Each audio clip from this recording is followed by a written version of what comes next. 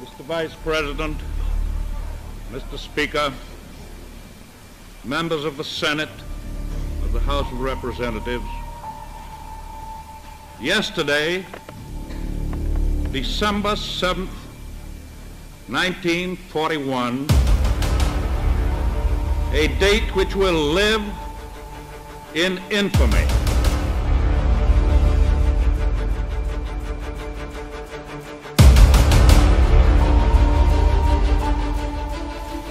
United States of America was suddenly and deliberately attacked by naval and air forces of the Empire of Japan. The United States was at peace with that nation.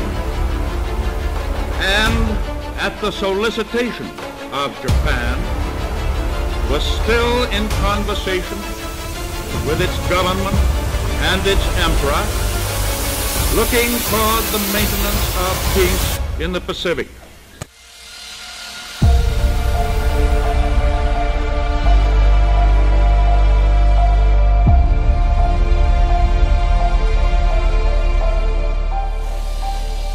The attack yesterday on the Hawaiian Islands has caused severe damage to American naval and military forces. I regret to tell you that very many American lives have been lost.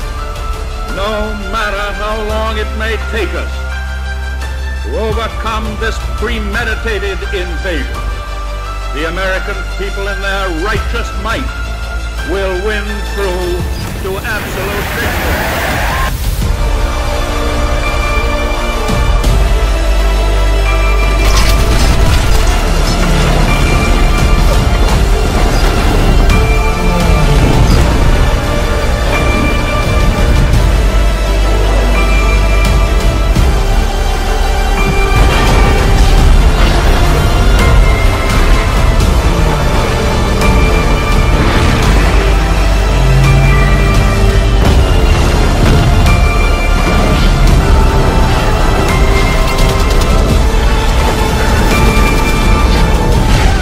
A state of war has existed between the United States and the Japanese Empire.